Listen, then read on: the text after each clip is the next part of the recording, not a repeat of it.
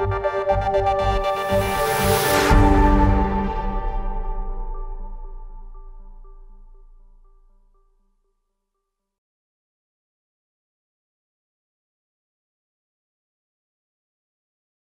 everyone. Today in our series of Docplexus KOL interviews, we have with us renowned physician Dr. T.V. Devarajan, who has dedicated his life to teaching and practice of medicine. He took up an honorary teaching position at Madras Medical College and worked there for 29 years without salary. Such has been his passion for medicine. He is currently senior consultant physician at Apollo Hospitals Chennai where he has set up India's first advanced fever clinic and has been handling it since its inception in 2013. He has authored four books and recently he has released a textbook of medicine. Congratulations sir, Thank for you, that. thank you.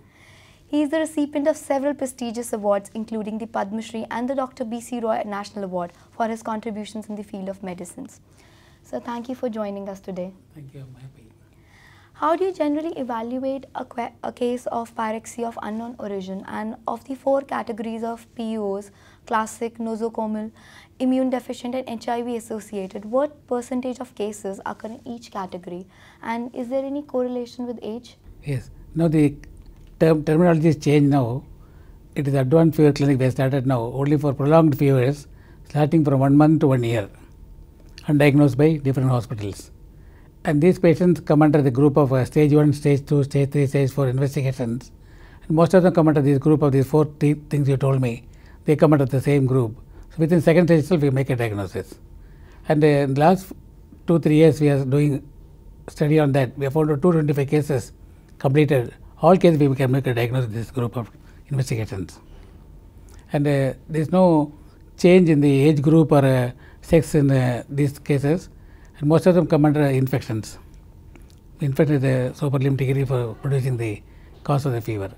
So how useful are the diagnostic criteria, diagnostic imaging in reaching a diagnosis? What we do after full physical examination, do stage 1, stage 2, stage 3 for tests uh, and make use of imaging technology.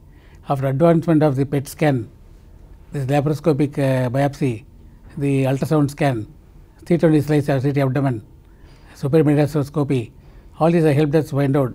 Most of the diagnosis is made because of imaging has helped us. Uh, I will give you some examples, some cases. When patient had infected endocarditis. By transesophageal echo, we could make a diagnosis of uh, infected endocarditis. But it is not respond to treatment. Did a CT scan chest, we found out a mediastinal adenopathy. By mediastinoscopy, we took a biopsy, confirmed tuberculosis endocarditis, only 0.5% incidence all over the world. Like that, CT scan has helped us to make out intra-abdominal abscesses, small lymph nodes in the abdomen, and MRI scan with MRA, MRV can make out a cerebral venous thrombosis. Many cases of occult malignancy, occult abscess in the body, all we could make a diagnosis by imaging technologies. So has the scenario changed over the years? Yes, definitely. Previously, they used to make undiagnosed case in PUO 10%. Then we made 20%. Now it is 0% now. So the differential diagnosis for fever of unknown origin are mainly classified as infections, malignancies, autoimmune conditions and miscellaneous. Which among these are the hardest to diagnose and what are the reasons for the same? This classification still holds good. Infection, autoimmune diseases, collagen diseases, malignancy. In our case, we had 70% cases of infection and 10 10% each of uh, malignancy, collagen disease, and occult uh, miscellaneous causes. Most difficult cases are occult malignancy, very difficult to make a diagnosis. Occult abscesses in the body make it difficult to make a diagnosis. In very rare case of immuno- immunocompromised host, difficult to diagnose. Otherwise, most of the case we could make a diagnosis four stage uh, investigations. So it is usually said that the fever of unknown origin that persists for more than a year is less likely to be uh, due to infection or neoplasm. So what has been your experience in this? It's slightly different. In my case, there was a tooth abscess, man was going on for six month fever. She had taken antibiotic, temperature touching normal, it has come back again. Nuclear bone scan showed the abscess. Second, another patient had a one year fever, went to different hospital in India. By transvascular echo, we could make out infected endocarditis. So I agree with you, most of them are due to infections because one year fever won't be last for a malignancy or cancer due to infection or a deep seated abscesses. And very interesting case, one patient had a suture material caused a abscess there. Another patient had a low Foley's catheter, developed osteomyelitis of the vertebra. Another patient had Ryle's tube insertion, developed mi- infection and pus formation. So, very rare case of infection, agree with you, it is only due to infection for long lasting cases. So, what are the, some of the serious diseases that initially present as fever of unknown origins, and what has been one of your most challenging case till date, and how did you tackle it? about 50 challenging cases, I'll tell two, three of them. One patient came with a fever of 20 days. ECG showed evidence of pulmonary thromboembolism. We treated with heparin, started improving, started on the wheelchair, developed paralysis of all the four limbs due to Guillain-Barré syndrome. We gave immunoglobulin, responded very well, developed convulsion due to cardiac venous thrombosis, recovered completely, went home.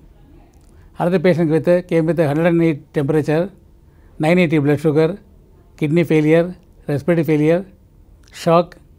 At last, we made a diagnosis of intra-abdominal abscess, the intestine gangrene, with great difficulty. With all the ventilator, with the dialysis, everything, we opened the abdomen, removed the mass, he became all right. The third case is a swine flu in a pregnant lady.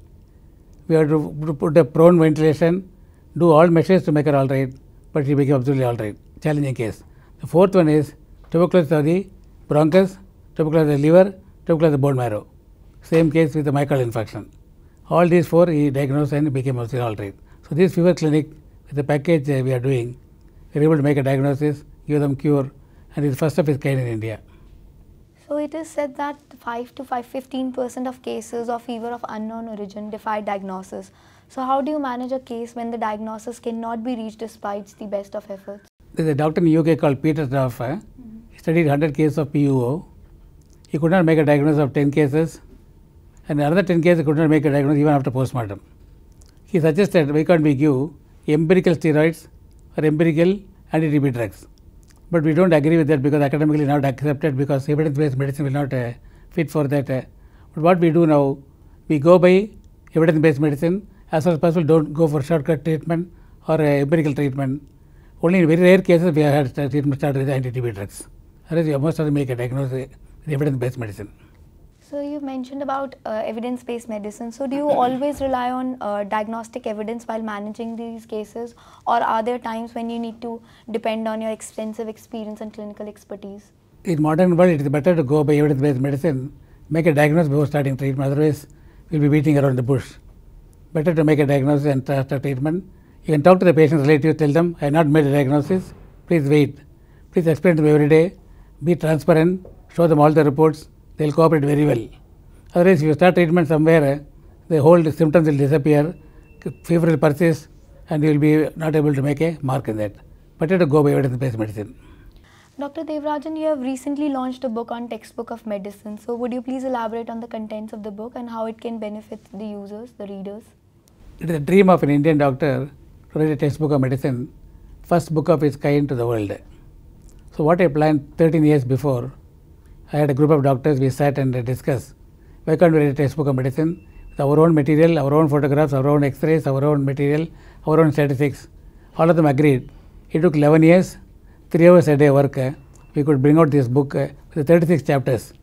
Most commonly available textbooks are contain only 21 chapters. We added here evidence-based medicine, medical ethics, doctor in law, yoga and medicine, nuclear medicine, atlas of X-rays, alternate, alternate system of medicines, and also stem cell medicine. All these are not seen in the present textbooks. We want to add this to knowledge of medical students. This book is useful for undergraduates, postgraduates, B.Pharm, BDS, and physiotherapy students. And we have priced it, it very low so that all book students can buy that. And it has been liked by many people. I got a peer review from a professor, vice chancellor, professor of medicine, final year student, third year student, and PG student. All have given a very good view about this book. I'm very lucky to be associated with this book. And it will definitely make a mark. And this book will definitely be used by students all over the world. And this is a book which I have published recently. It is going to be one of the books to be used by our students of medicine. So, you have been truly an inspiration to doctors everywhere. Your passion and dedication to the medical profession is unparalleled. So, would you like to share a few thoughts with our members? See, my it is not advice, my suggestion is please read every day, keep abreast with the modern developments in medicine. Please attend CMEs to know details about progress. Your attitude, afford- affordability, availability, amicability, academic work will only help you to become a life in life. And patients should be given tender loving care and patient relatives will be talking to you so nicely. Talk to them every day, discuss them the case, and you please be frank with them. They'll do cooperate very well, and you'll get a very good results. And also, these days of modern medicine, where everything is expanding so much every day, what are outdated should not be used now. So go through the journals every day, go through the at least once in a week, refresh yourself, and I want you to be a success in life only by hard work, sincere work, availability, affordability, and also be academic and be thorough with the medical knowledge. Every day you read and remove what are not, uh, which are outdated, please remove them.